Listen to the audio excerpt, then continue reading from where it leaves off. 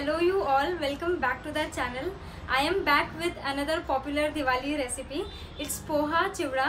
It's a mix of poha shengdana some nuts and makai poha as well it's an easy namkeen जो सिर्फ़ और सिर्फ़ एक घंटे के अंदर ही बन जाता है।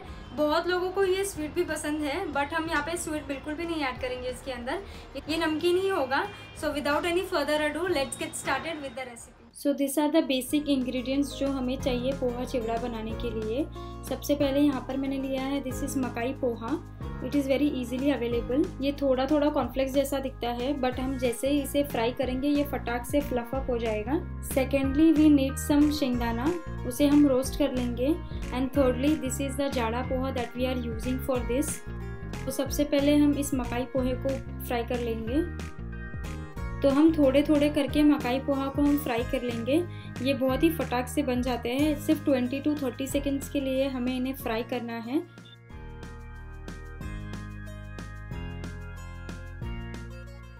यहाँ पर मैंने टोटल 100 ग्राम्स ऑफ़ मकाई पोहा लिया था। उसे बैचेस में फ्राई कर करके इसे हमें साइड में निकाल लेना है।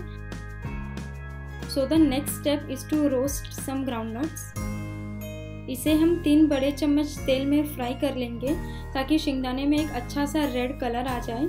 इसीलिए हमने यहाँ पर ऑयल यूज़ किया है।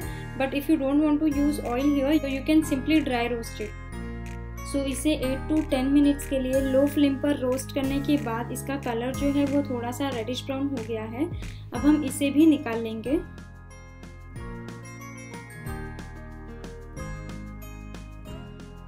अभी हम एक टीस्पून ऑफ़ ऑयल डालेंगे कढ़ाई में और उसमें हम रोस्ट कर लेंगे ये चना दाल। ये जो सॉफ्ट वाले होते हैं, ये वही वाले चना दाल हैं। बस इनको थोड़ा सा क्रिस्पी और थोड़ा सा ब्राउन कर लेना है। हमें इसे सिर्फ़ फाइव मिनट्स के लिए धीमी आँच पर रोस्ट कर लेना है।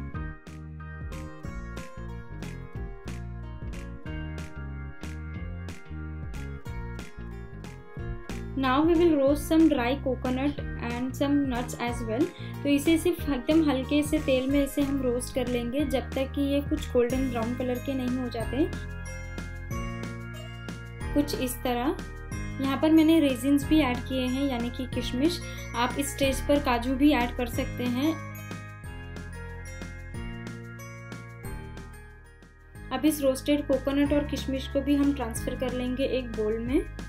और इसे भी ऐड कर देंगे। अब लास्टली हम भुनेंगे पोहे को। फॉर दैट यहाँ पर हमें लेना है two table spoon of oil एक छोटा चम्मच नमक और आधा छोटा चम्मच हल्दी। इन्हें सिर्फ़ फाइव सेकेंड्स के लिए हमें भून लेना है ताकि हल्दी कच्ची ना रहे।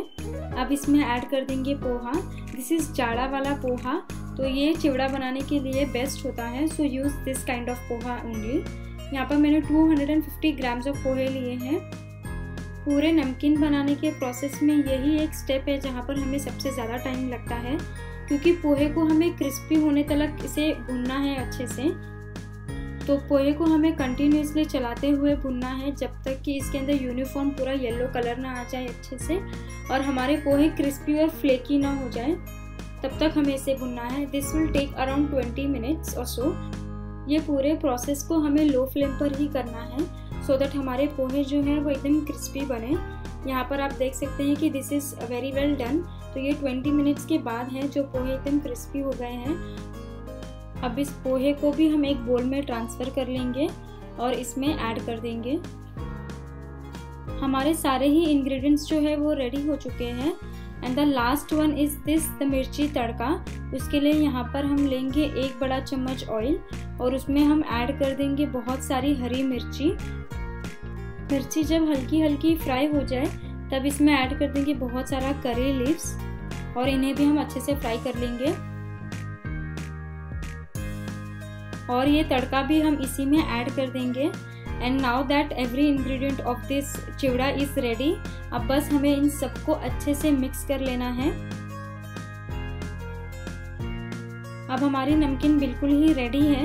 ये चाय के साथ भी बहुत ही अच्छी लगती you have to try this once अभी हम इसे फटाफट से सर्व कर लेते हैं and tada it's ready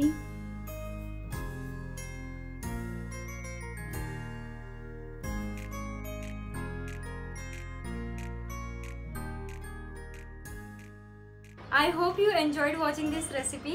If you tend to make this, please share it with me. I have also shared some recipes on my Instagram in the Reels tab. You can check that out too. Also, thank you for showing all the love on the previous video, the besan laddu. Give the same love to this video as well. You can check out more recipes on my YouTube channel as well. These two recipes I have made. Like this video if you really loved it. इसे share करें अपने friends and family के साथ अगर आप नए हैं तो please subscribe to the channel to see more such videos I will see you in the next video till then happy cooking